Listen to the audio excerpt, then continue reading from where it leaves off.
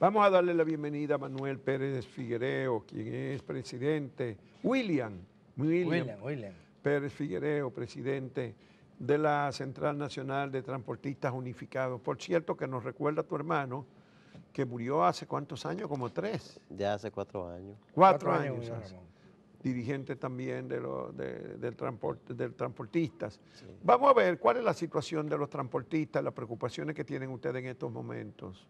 Sí, bueno, buenos días al pueblo dominicano. Agradecer a Bolívar Díaz, agradecer a Adalberto por darnos siempre la oportunidad de comunicar las inquietudes que tienen todos los sectores de la vida nacional. Eh, nosotros ahora mismo nos encontramos inmersos en lo que es la sustitución de flotillas para nuestros afiliados y otros también. ustedes están que- trayendo vehículos eléctricos, Exacto. flotillas eléctricas. nos atrevimos a dar ese paso ya por la preocupación que tenemos cada día por el sector choferil y porque realmente eh, los choferes están gastando el 70% de la producción diaria en insumos y combustible. Es decir, un chofer que produce mil pesos, se le van 700 pesos nada más en lo que echa de gas o diésel y completa con el aceite, porque aquí hay vehículos que gastan un cuarto de aceite diario.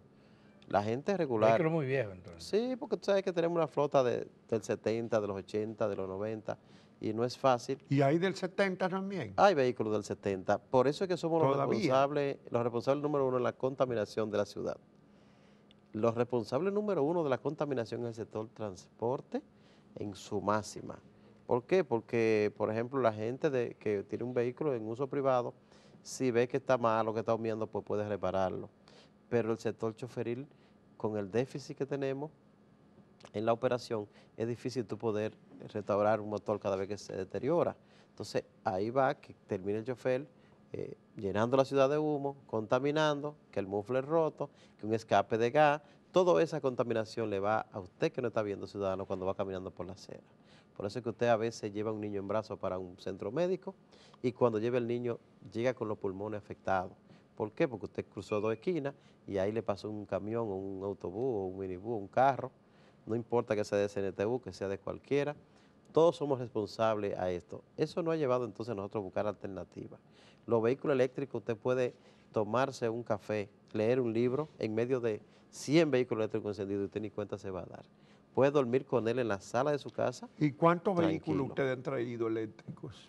Hasta ahora hay ciento y pico de vehículos en, en manos de particulares que nada más no son nosotros. Pero, pero, Pero de la nosotros- Central de nosotros hicimos- Transportistas exacto. Unificados. ¿Cuántos? Nosotros hicimos un, un único lanzamiento que se hizo en Los Bravos y eh, con cinco unidades, porque estamos entrando en el proceso. Ahora tenemos que seguir diligenciando la entidad bancaria para que entiendan y conozcan este proceso. Sabes que es algo para, en el país todavía un poco desconocido, sin embargo en otros países es algo ya bien avanzado. ¿Qué esperamos? Bueno, que sea del agrado del pueblo dominicano, que el pueblo entienda que estos carros son amigables al medio ambiente, que entienda que pueden eh, manejar el proceso eh, con facilidad de recarga, tiene un cargador portátil ¿Y dónde recargan? eh? en la electricidad. casa. Na- Todavía no hay estacionamiento, estaciones de recargo aquí de electricidad. Sí, existen 31 puntos de recarga.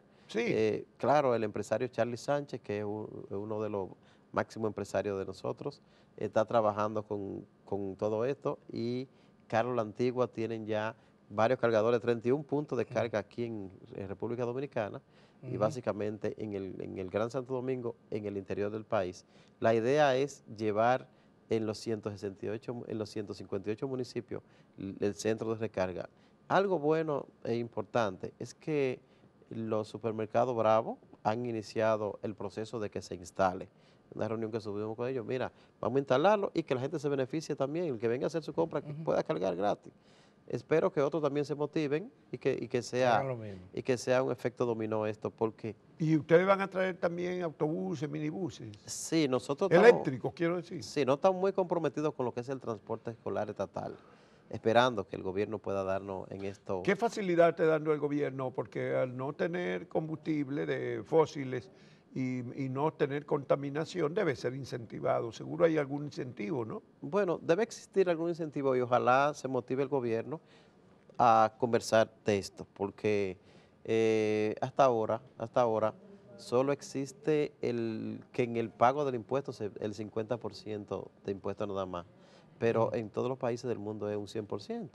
Pero, ¿qué es lo que le digo? Que ojalá el gobierno dominicano aprecie el sistema de transporte escolar estatal, que es lo que más nos hemos preocupado, porque nosotros la preocupación de nosotros es alta por esos niños que andan eh, a veces caminando a la escuela y que son atropellados, eh, con la inclemencia del tiempo. Entonces, Pero aquí no ojalá- existe eso, el transporte estatal. Lo hemos planteado con mucha Eh, responsabilidad. Lo que ha hecho el Estado es eh, donarle Donar, y a, a eso no de estudiantes universitarios. Cada vez que donan una guagua, le hacen el daño a la escuela, porque cuando hay una goma pinchada no hay como taparla.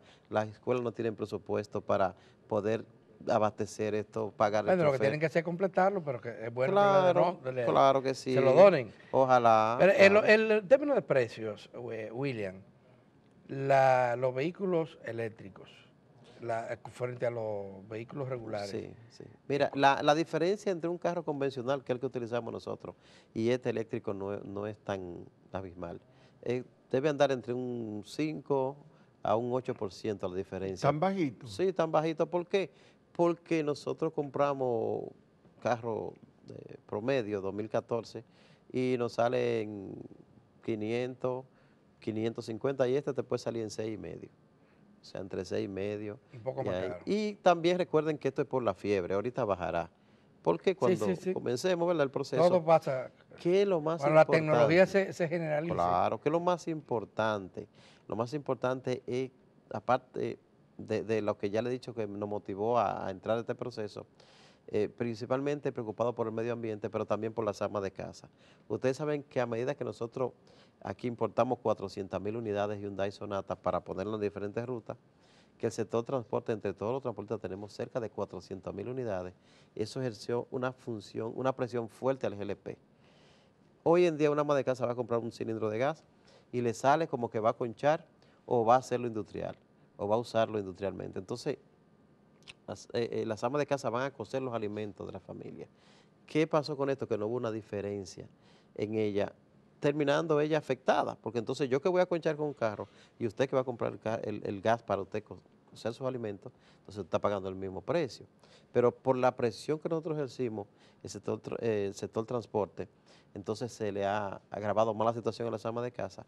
Esperamos con este desmonte de espacio, porque es organizado, de, la salida de nosotros del GLP se libere y las amas de casa puedan disfrutar de un precio especial en su GLP, que ha sido un clamor del sector, pero que quizá no hemos sabido abordarlo.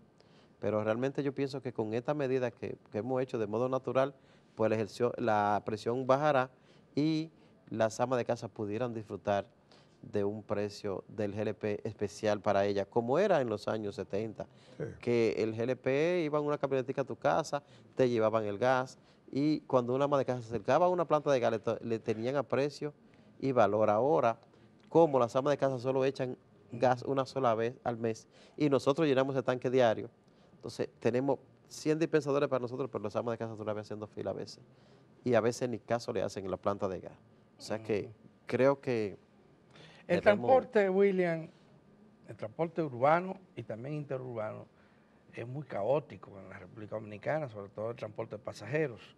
Yo creo que esta es una de las pocas ciudades del mundo, ciudades importantes del mundo, donde todavía existe el carro de concho, sí. eh, porque el transporte se ha colectivizado en todo el mundo. Es, es el tren, el autobús eh, grande el que moviliza a las grandes masas de transportistas y solo los privilegiados eh, pueden usar un, un- un taxi, ¿verdad?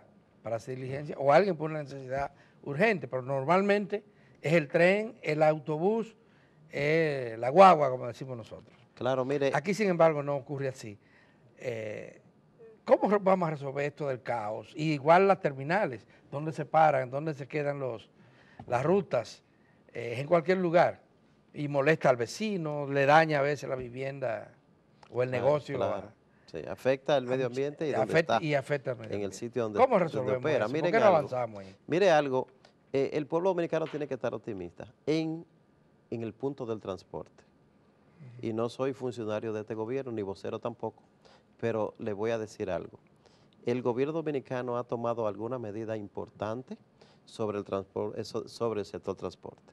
Que no nos gusta a nosotros como transportistas, bueno, no nos gusta alguna cosa, pero es verdad que el metro ha venido a resolver y organizar algo. Es verdad que el teleférico está resolviendo algo.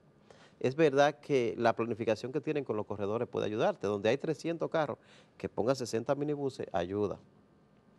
Ah, que no nos guste como transportista porque quizá el negocio no nos venga tan bien. Bueno, pero eh, tenemos 50 años complaciéndonos.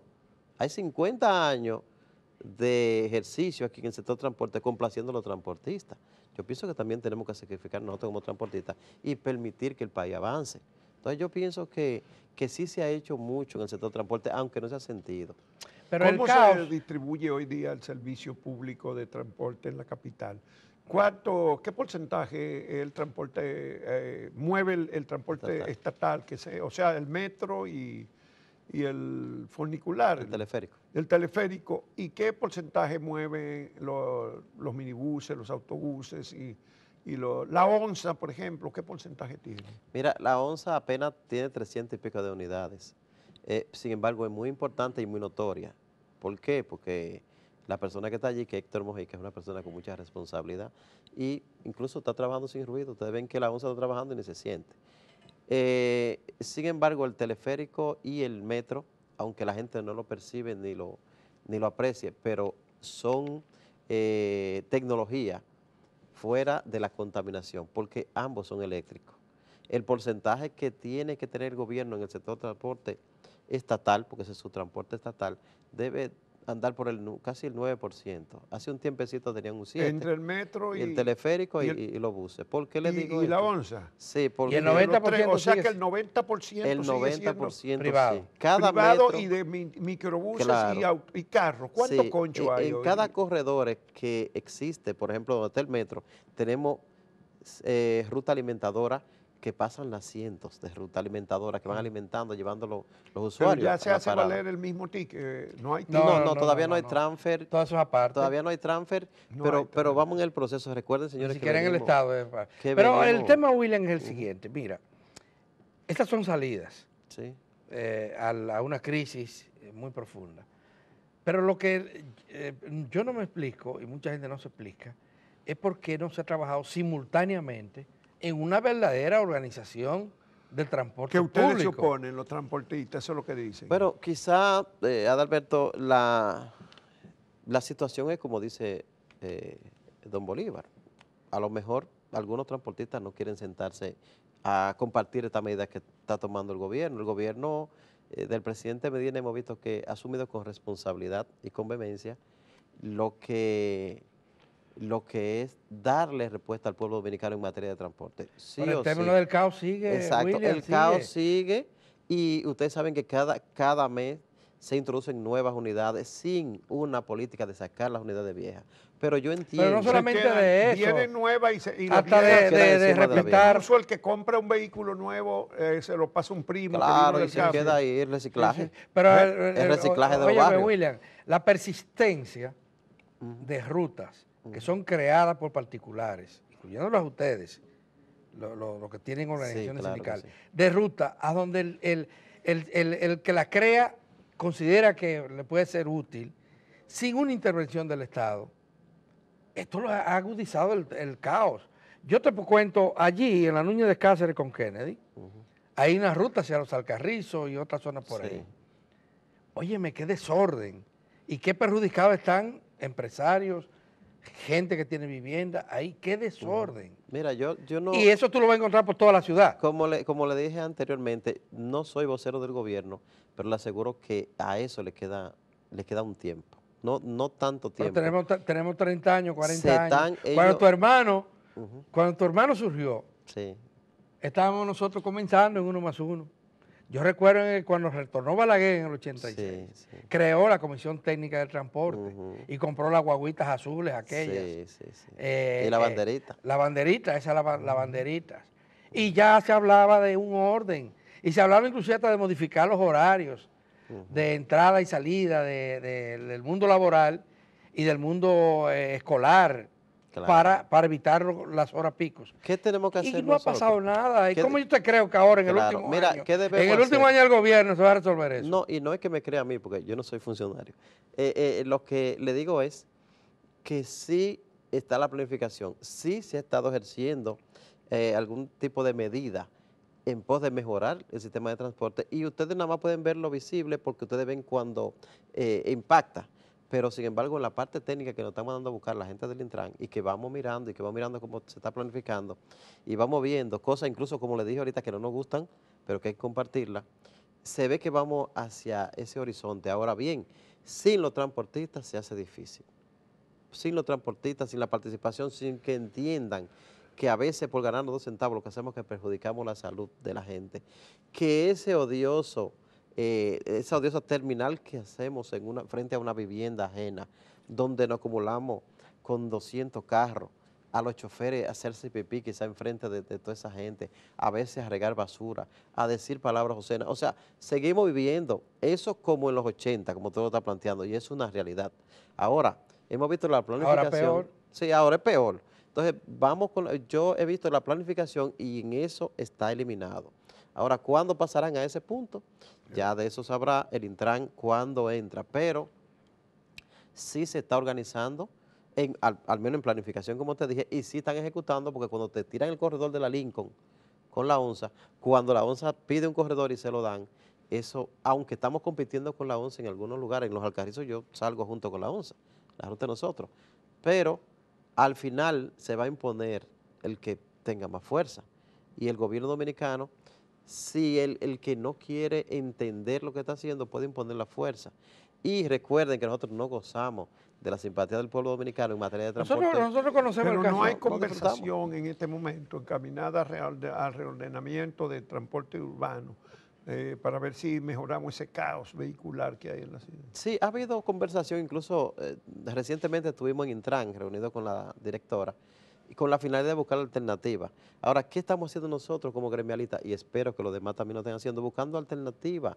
Y, y nosotros llevándole solución al pueblo dominicano, entendiendo que somos nosotros los que creamos el caos, de que somos los responsables a cientos de Pero responsable es el Estado, que no ha podido claro, establecer el orden. Claro, pero, pero recuerda que nosotros tenemos que también como, como, como elemento juicioso, ¿verdad? Una gente que, que sabe cuando está la cosa bien y cuando está mal, también tenemos que poner nuestra parte. O sea, uh -huh. todo el Estado dominicano tiene que hacerlo. Nosotros estamos haciendo propuestas y estamos trabajando y estamos avanzando para liberar el país de, de toda esa chatarra que tiene que ver con CNTU y algunas rutas que deseen también venir. ¿Cuánto agrupan ustedes en la CNTU? Nosotros tenemos 110 mil unidades. Somos, 110 mil. Exacto, somos la tercera federación, hay federaciones más grandes.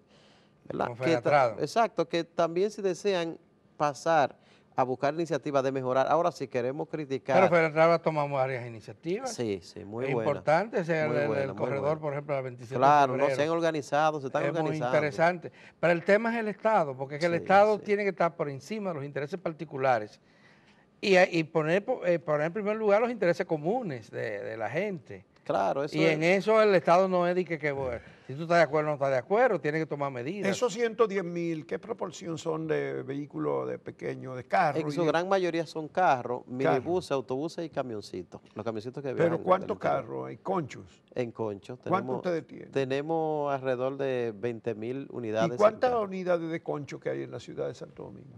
Eh, pasan las 400 mil. Las unidades de concho, de, de carro, concho, de de carro. concho. Cada, cada, cada unidad de, cada ruta eh, está compuesta por 350 carros, 200 carros, todo depende del tamaño y, avanzando. Ahora, eso el Intran contempla, eh, según nos ha comunicado, ¿verdad? Contempla que en los nueve corredores que ellos eligieron para limpiar la ciudad, organizar la ciudad, no, no comunicaron que debemos salir de ahí o convertirnos a minibuses como ellos están planteando o autobuses. O sea, para tratar de colectivizar el transporte. Pienso que una buena medida, sin embargo, hay que, hay que ver porque también se habla de, ahí, ahí tiene un poco de desplazamiento. Nosotros hemos estado trabajando inmersos en lo que es el sistema de transporte escolar estatal. Lo hemos presentado al señor presidente, lo El hemos presentado a la sistema de transporte escolar estatal escolar. para que seamos como los otros países también, modernos, donde tu niño tú nada más lo pones ah, en la acera, lo recoge el autobús y vuelve y te lo deja ahí. O sea, ¿por qué tan traumático? ¿Por qué ha costado tanto trabajo al Estado poder apoyarnos en esta medida? O apoyar al pueblo, porque ni tan siquiera es nuestra, es del pueblo. Yo pienso que, que pudiéramos casarnos con la gloria como país y que los niños pasen a empezar a disfrutar. Al final, hacer un llamado al pueblo dominicano a que eh, comedimiento ahora a los choferes que no aumenten el pasaje. ¿Y ustedes están haciendo esfuerzos por la educación a los choferes? Sí. Porque Tenemos una escuela propia de CNTU, eh, gracias a Dios que eh, nos faltan algunas cosas, pero estamos avanzando. Eh, ya estamos impartiendo clases ahí. Estamos, hicimos un acuerdo con la Asociación de Artistas Plásticos con la finalidad de llevar el tránsito a obra de arte, la incidencia, o sea que los cuadros que va a tener el chofer en la casa es la incidencia de los tapones, del mal manejo, de, de la incidencia que pasa en el tránsito diario para que esto sirva de crear conciencia en el hogar cuando llegue y vea la imagen en que vivimos y eso nos ayude mucho y nos está ayudando muchísimo.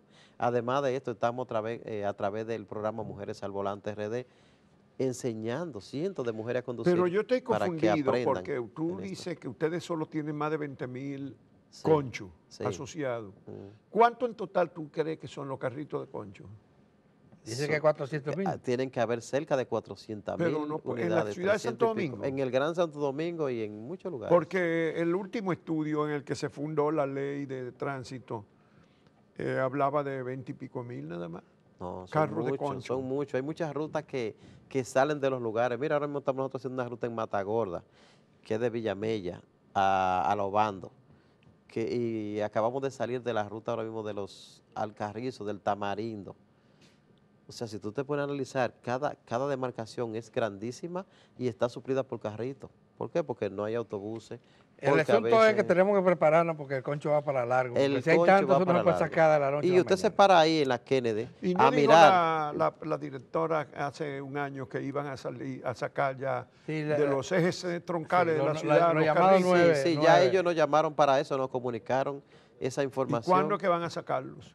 Eh, estamos, estamos, se está ellos están trabajando en el proceso, nosotros estamos eh, esperando cuando se comience a organizar, pero también estamos trabajando con la finalidad de, de aportar lo que podamos nosotros desde nuestro sector.